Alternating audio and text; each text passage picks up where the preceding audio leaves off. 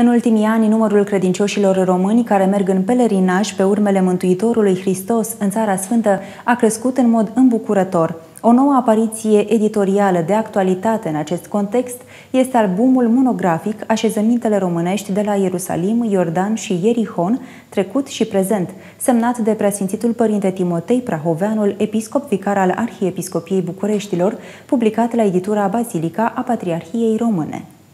Reeditată sub forma unui album monografic cu paginare aerisită și plăcută, lucrarea conține informații, mărturii istorice și contemporane, documente și aproximativ 100 de fotografii noi despre prezența românească la locurile sfinte. Noutatea acestei lucrări este dată și de ultimul capitol dedicat Sfântului Cuvios Ioan Iacob de la Neamț, intitulat sugestiv Românul Sfânt din Țara Sfântă. În acest capitol este prezentată o biografie a Sfântului cu menționarea celor mai importante evenimente din viața acestuia și legăturile sale cu locurile sfinte, dar și câteva poezii compuse de Sfântul Român.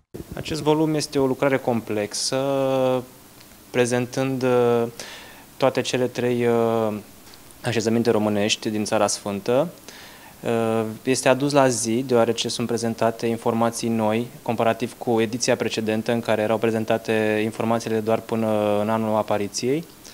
Uh, de asemenea, uh, conține un capitol despre Sfântul Ioan Iacob de la Neamț, care a trăit în Țara Sfântă pentru o perioadă de timp, reprezentând practic o hartă fotografică pentru cei care doresc să-l citească. Ilustrațiile sunt multiple, sunt luate din uh, diverse baze de date, Basilica, Dreamstime și alte site-uri profesioniste care se ocupă cu uh, realizarea de fotografii în anumite zone, conținând nu atât imagini cu uh, Ierusalimul, cât și imagini din alte zone ale Țării Sfinte. De asemenea, găsim imagini de arhivă, documente, medalii, acte, Uh, pisanii din diverse biserici. Valoroasă prin conținut, îmbinând cuprinsul realizat riguros cu forma și compoziția fotografiilor așezate armonios, noua apariție monografică despre așezămintele românești din Țara Sfântă oferă cititorului bucuria întâlnirii cu istoria, viața și frumusețea acestor locuri.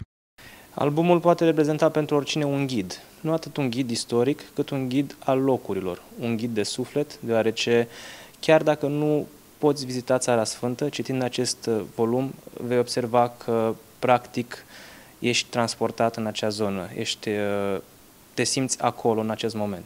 Volumul se deschide cu un cuvânt al autorului intitulat Un pelerinaj închinat celui care stăpânește peste toate. Deși bogat în informații istorice, mărturii și documente, volumul nu obosește cititorul cu date și amănunte nesemnificative. Astfel, în capitolul 1 sunt prezentate primele strădanii de înființare a unui așezământ românesc la locurile sfinte. În continuare urmează prezentarea în trei capitole a așezămintelor românești de la Ierusalim, Iordan și Erihon, cu informații suficiente și concludente recente cu poze care aduc în prezent demersurile și strădaniile din trecut, precum și nevoința din ultimii ani pentru construirea, înfrumusețarea și restaurarea acestor așezăminte. Al cincilea capitol al cărții conține informații despre viețuitorii monahii, delegații patriarhali și superiorii așezămintelor, care au asigurat o permanență românească pe aceste meleaguri și au răspuns solicitărilor duhovnicești, liturgice și culturale ale pelerinilor. Albumul monografic poate fi găsit în magazinele de carte bisericească sau poate fi comandat de pe site-ul librăriacărțilorbisericeti.ro.